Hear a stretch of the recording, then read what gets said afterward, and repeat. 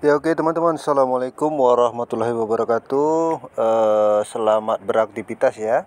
Selamat uh, menjalankan ibadah puasa Tentu saja bagi yang menjalankan. Bagi yang tidak menjalankan Marilah kita saling menghormati satu sama lain ya teman-teman ya. Ya di video kali ini teman-teman Tentu banyak kejutan-kejutan yang uh, kiranya mungkin bisa menjadi pencerahan buat kita semua. Salah satunya adalah terkait dengan uh, kata sandi ya atau password teman-teman yang uh, mana tahu akunnya ada yang mencuri atau akun kalian ada yang mencoba untuk membobol kira kurang lebih begitu ya. Kalian itu bisa melakukan cross check ya untuk input lagi password yang baru ya. Nah, tentu saja di sana kan dimulai dengan nomor handphone yang bisa kalian gunakan untuk kalian login. Jadi teman-teman eh, informasinya itu hari ini di Twitter ya, di Facebook, di grup-grup WhatsApp, ya bahkan di aplikasinya sendiri ya teman-teman ya. Coba kita lihat sebentar ya. Iya, ini teman-teman ya. Jadi eh, kalian itu bisa mengganti password kalian ya. Ini memang kemarin sih ada yang japri ke saya uh, Pak Bos bagaimana cara mengganti password atau kata sandi kita yang lupa atau hilang? Kira-kira gitu. Nah jadi sebenarnya nanti ini petunjuk ini yang saya lingkari itu kalian bisa ikuti saja ya. Uh, ikuti saja panduannya. Kalau saya sendiri sih belum merasa perlu untuk mengganti password karena uh, ya menurut saya sih saya buat sudah seaman mungkin. Ya mudah-mudahan tidak ada yang mengganggu lah ya Nah, kalau kemudian ada yang mengganggu, kalian juga bisa melaporkan ya lewat laporan ini ya atau kita kita report ya, kita report uh, compromised account ya. Jadi kalian tuh bisa melaporkan mana tahu ada yang mencurigakan. Karena koin Pi itu nanti akan bernilai sangat tinggi sekali teman-teman. Alangkah baiknya kita harus menjaga sedemikian rupa dan dengan tingkat kehati-hatian yang cukup tinggi teman-teman ya itu dia. Jadi terkait dengan masalah prasa sandi atau uh, bukan prasa sandi ya teman-teman. Sorry ya. Masalah password ya. Password atau kata sandi login ketika kita misalnya ini kan teman-teman bisa saja nih uh, apa namanya saat akan ganti handphone yang baru kan? Uh, potensi untuk kita pindah ke handphone yang baru kan itu jelas sekali. Itu satu ya. Misalnya handphone kita hilang lalu kita beli lagi ya atau handphone kita mungkin RAM-nya itu uh, cukup rendah ya. Misalnya kita harus ganti dengan yang RAM yang lebih besar lagi sehingga mau tidak mau kita kan harus uh, masuk ke uh, akun yang eh masuk ke handphone yang baru kurang lebih begitu. Oleh karenanya teman-teman maka kata sandi itu menjadi begitu penting untuk kalian mengganti uh, tapi dengan catatan kalian itu harus benar-benar menghafal atau mengingatnya atau menyimpannya sebaik mungkin. Ya teman-teman ya. Ini salah satu yang terbaru ya. Walaupun ini e, bukan hari ini sih sudah semalam ya teman tapi saya merasa perlu karena kan kita punya tanggung jawab moral ini ya teman-teman ya terkait dengan e, channel yang e, setiap hari kita mengabarkan tentang Pi Network ya teman-teman ya.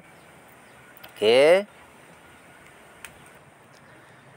Ya teman-teman sekarang kita kembali ke Twitter ya. Jadi ini adalah akun Twitter saya. Eh, Sekiranya kalian berkenan gak ada salahnya kalian ikuti ya. Oke teman-teman ya. Terima kasih yang sudah mengikuti. Ya kalau kalian tidak berkenan juga ya nggak ada masalah ya. Kalian boleh abaikan saja ya. Oke jadi eh, Twitter saya namanya channel sekedar info ya teman-teman saya sudah meretweet ya beberapa uh, informasi yang menurut saya ini menjadi uh, sebuah penyemangat ya. Mungkin ini ada bagian dari daya dongkrak kita untuk tetap semangat bahwa Pi Network ini berdasarkan informasi secara global itu sebentar lagi teman-teman. Ya. Uh, Cina, Vietnam, ya, uh, Nigeria itu mereka sudah meyakini Pi Network ini sebentar lagi teman-teman ya Nah, jadi salah satu mungkin yang mungkin uh, kita perlu memperjelas ya. Misalnya saya klik aja bagian uh, Pi apa nah universe ini ya. Kemudian saya coba untuk menerjemahkan. Jadi teman-teman, kiranya uh, ini bisa menjadi masukan ya. Jaringan Pi akan menjadi jaringan blockchain terdistribusi terbesar dan teraman di dunia ya. Dan tidak ada uh, peretas yang dapat menghancurkannya ya.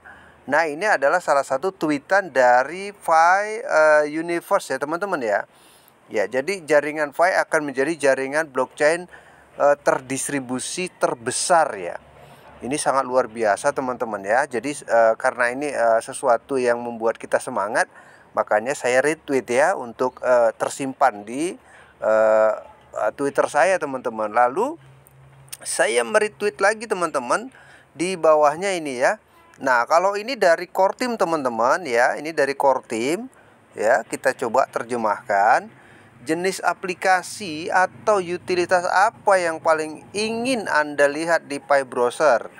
Nah, jadi ini eh, beberapa jam yang lalu ya. Ini kan eh, 19 jam ya. Uh, jadi 19 jam yang lalu jadi kalian itu boleh ya memilih jawaban atas uh, voting yang dibuat uh, oleh core team teman-teman ya. Ini akun P Networknya, eh bukan akun P Network, tapi ini adalah akun Twitter resmi dari P Network ya teman-teman ya. Ini lambangnya adalah centang biru ya. Nah centang biru itu artinya ya seperti sudah dimonetisasi ya. Kalau sudah dimonetisasi berarti setiap aktivitas itu sudah menghasilkan pundi-pundi dolar ya atau setiap mereka membuat sebuah tweetan itu akan menghasilkan uang teman-teman. Nah jadi kalian itu eh, ketika ditanya oleh Pi Network ya oleh core team di sini jenis aplikasi atau utilitas apa yang paling anda ingin lihat di Pi Browser. Di sini jawabannya beragam ya teman-teman ya ada social network ada games, ada uh, e-commerce ya, kemudian ada order atau lip uh, comment. Dan ini uh, sangat bervariasi jawabannya. Kalau untuk social network itu 38%, games kemudian 21%, kemudian uh, commerce ya itu 37% dan order ya atau lip uh, comment itu 5%. Jadi teman-teman masih di bagian social network nih sepertinya ya uh, cukup tinggi ya 38% dan dan saya ya udah saya, saya kasih ini ya uh, bagian sosial network teman-teman ya Nah, saya ingin melihatnya bagaimana nanti perkembangan informasi terbaru dan lain sebagainya. Itulah kenapa kemudian saya letakkan centang saya di bagian sosial network. Teman-teman boleh ya memilih dengan uh, pilihan menurut selera masing-masing. Nah, itu dia, itu satu ya, teman-teman ya. Jadi uh, kalau informasi terkait dengan Network itu sudah sangat luar biasa teman-teman ya. Nah ini dari uh, Pim Pimol Metro ya. Nah sekarang coba kita lihat bagaimana uh, informasinya ya. Nah digitalisasi belanja Anda ya. Pilih P Mall Metro atau PLC sebagai e-shop non-stop Anda bergabunglah saat kami mengglobal untuk menghadirkan digital terbaik bagi Anda. Layanan perusahaan e-commerce eh, ke depan pintu Anda. Klik untuk menonton video lengkap di bawah ini. Ini dia teman-teman ya. Nah, jadi eh, Pimol Metro Nigeria ini ya. Jadi teman-teman, kalian itu nanti kalau sudah ya semuanya ini sudah ready ya, sudah ready ya teman-teman kita itu ke depan ya punya potensi untuk berbelanja di luar karena ini sudah zamannya digitalisasi dan sudah mengglobalisasi. Artinya sudah sudah dunia sudah nggak ada batasnya itulah dia globalisasi. Nah kita cukup eh, apa namanya cukup berbelanja dan barang-barang akan sampai di depan pintu anda. Kira-kira gitu ya layanan perusahaan e-commerce ke depan pintu anda. Nah jadi potensi untuk menuju ke sana itu sangat besar sekali. Inilah yang disiapkan oleh P Mall eh, apa namanya itu? P Mall Metro ya. Ah, Mall Metro dari Nigeria ini sepertinya teman-teman ya. Nah, inilah kenapa kita merasa perlu ya atau saya merasa perlu untuk terap uh, memberikan info-info terkait dengan uh, P Network ya teman-teman ya karena memang P Network ini amat beda ya dengan yang lain teman-teman kemudian di bawahnya ada lagi teman-teman ya. Saya menarik ini ya. Uh, coba saya klik dulu ini pada bagian. Ya ini dia teman-teman ya. Oke. Apa ini teman-teman ya? Wow. Handphone. Wow. Rumah. Villa ya. Mobil teman-teman. Nih lihat nih. Nah ini barang-barang belanja ya. Wah makanan teman-teman ya Nah, ini yang disiapkan oleh Timol Metro ya. Iya. Second up now. Jadi nanti kita bisa mendaftar di sini teman-teman untuk uh, prosesnya. Tapi ya jangan terburu-buru lah teman-teman ya. Paling kita sekedar menyarankan atau mengabarkan saja lah ya. Sementara ini kita mengabarkan dulu bahwa P Mall itu menyediakan layanan untuk kita berbelanja seperti ini teman-teman. Ya. Nah, jadi kalian boleh beli laptop dan lain sebagainya dan lain sebagainya ya. Asal koin Pi Anda benar-benar cukup untuk kalian gunakan barter atau untuk berbelanja. Kalau nggak cukup ya sabar dulu ya teman-teman ya. Nah, jadi teman-teman gini, eh, terkait dengan ini semua kan eh, bahwa apa namanya ya?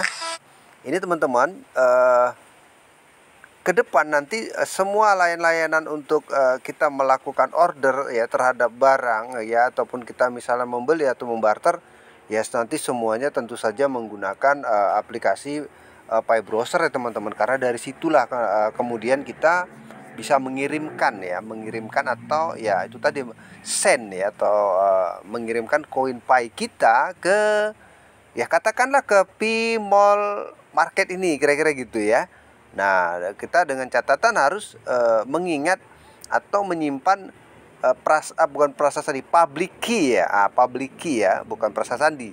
Ya, artinya uh, wallet key-nya itu ya itu harus kita simpan untuk kita kirim. Ya, nanti uh, pastikan uh, segala sesuatunya ada ya syarat dan ketentuannya, teman-teman ya. Lihat kalian bisa memborong barang-barang uh, ini, bisa membeli barang-barang ini bila sudah waktunya ya saya yakin uh, ya teman-teman sudah nggak sabar sih. Tetapi masih ada saja sih orang-orang yang uh, skeptis ya teman-teman ya. Yang masih pesimis. Uh, bahkan ada yang sepertinya dia uh, tidak respon ya terhadap informasi yang kita sampaikan. Misalnya ya kenapa mesti ngambil dari Twitter? Kira-kira gitu. Sebenarnya bukan tidak bisa. Kita sendiri juga kan bisa saja sih membuat uh, informasi ya terkait dengan harga, terkait dengan kalau kita Indonesia mungkin P market Indonesia dan lain sebagainya. Bisa teman-teman, cuman kita juga nggak boleh asbun ya, kita nggak boleh ngarang. Apa yang saya sampaikan ini kan adalah bagian dari informasi yang mungkin saya merasa perlu untuk meneruskan supaya teman-teman di luar sana yang mungkin belum update, belum mendapatkan info itu kemudian menjadi tahu. Tetapi bagi yang sudah tahu, yang yang begini ini diabaikan saja teman-teman. Toh kalian ya bisa saja mencari informasinya lewat akun akun Twitter kalian sendiri ya. Nah, kalau saya sih karena yang e, namanya punya akun Twitter tuh sudah sudah lebih dari 10 tahun tentu saja ya saya terus mencari tahu informasi dan perkembangannya ya teman-teman ya Ah, jadi uh, ya silakan diikuti supaya kalian tetap mendapatkan info-info terbaru terkait dengan P Network dengan segala perkembangannya ya teman-teman ya. Pokoknya ini luar biasa. Dan yang paling amat luar biasa itu yang ini teman-teman. Ada hal yang uh, saya pikir apa ya bukan aneh sih tetapi memang ini eh kalian bisa lihat ya kongres tuh Vietnam ya uh, Pai Pioneer Wobok uh, occur by uh, digging Pai kira-kira Vietnam has jumped to the Pi network consensus power Nah, jadi teman-teman dia katakan di sini selamat kepada Vietnam Pi pionir yang membeli mobil dengan menggali V Kemudian Vietnam telah melompat ke kekuatan konsensus ya V network yang Anda abaikan adalah menghilangkan Anda. Tidak bisa mengerti, tidak bisa melihat, tidak bisa melihat. Sudah terlambat. Nah, jadi teman-teman eh, informasinya dia sudah membeli barang-barang ya mobil mewah ini ya mobil ini uh, tetapi tetapi teman-teman ya banyak yang memberikan komentar ini kan masih halu, ini kan belum real, ini kan masih ini. Ya, dia menjawabnya adalah bahwa apa yang mereka lakukan itu nanti semuanya akan menjadi real ketika sudah mainnya terbuka. Itu dia teman-teman ya. Kalau sudah mainnya terbuka, insya Allah ini semuanya akan terrealisasi teman-teman. Ya, dan kalian itu ya bisa memiliki ya ini seperti Toyota ya. Ini Toyota hanya saja ini kelasnya kalau di Indonesia saya belum pernah lihat nih ya yang uh, model seperti ini tapi ini Toyota kalau mobil Toyota sudah banyak tetapi kalau untuk yang berlogo ini apa namanya? Yang seperti ini nih nah ini? Nah, yang ini teman-teman ya ini kan belum pernah kelihatan ini. Sepertinya kelas sekali mobilnya ya. Oke dan inilah uh, mereka itu sudah meyakini satu pai itu seribu dolar teman-teman. Ya kalau saya sih ya sah-sah saja lah ya namanya opini namanya pendapat orang dan lain sebagainya salah satu yang komentar kita buka dulu ya kira-kira apa sih yang dikomentari kira-kira gitu ya Bagaimana transaksi ini dilakukan jika perintis tidak diperbolehkan mentransfer pai dari satu rekening ke rekening lainnya ya? Ya hari ini sih memang belum kita melakukan barter, belum melakukan transfer ke rekening karena itu memang masih mainnya tertutup. Tetapi kalau sudah terbuka itu baru bisa. Dia kan nanya, yang nanya kan gak ada salahnya. Terus ini apalagi teman-teman ya. Nah, jadi kalau yang ini dia katakan apakah harga awal tidak sesuai ekspektasi? Bagaimana tentang itu? Nah, artinya dia dia uh, kalau kalau misalnya harga tidak sesuai, terus bagaimana selanjutnya gitu ya? Ini belum ada jawaban, belum direspon. Tapi mungkin saya bisa ini ya, mungkin uh, sedikit memberikan pandangan bahwa apa yang ditanyakan beliau ini soal Bagaimana nanti kemudian dikondisikan? Misalnya uh, ekspektasinya tidak tercapai karena harga mungkin mungkin rendah, ya dikondisikan saja. Kira-kira seperti itu. Misalnya harga tidak sampai seribu, misalnya harga cuma 10 dolar seribu atau seri enggak sampai seribu ya misalnya 100 atau mungkin 30 dolar ya dikondisikan saja ya kurang lebih seperti itu artinya harga mobil yang ditetapkan misalnya sekian ribu dolar itu kemudian menjadi berapa pai kalau misalnya harga satu pay-nya berapa dolar? Kira-kira begitu. Ya paham paham teman-teman ya? Nah terus yang ini juga saya penasaran dengan yang ini saya perlu memperjelas lagi. Sesuai dengan metode penandatanganan kontrak setelah jaringan utama transfer. Nah ini jawaban dari beliau teman-teman ya. Ah jawaban kira-kira itu dia menjawab e, nanti ini e, tetap akan mengikuti prosedur ya kata dia sesuai dengan metode penandatanganan kontrak. Artinya sudah ada eh, deal-deal antara dealer dengan para pionir. Sudah ada kesepakatan, tetapi dengan catatan setelah jaringan utama baru kemudian kita bisa melakukan transfer teman-teman ya. Cukup jelas ya. Jadi saya pikir ini adalah informasi yang cukup menarik ya buat teman-teman para pionir yang uh, benar-benar Ya, hari ini sedang menunggu KYC.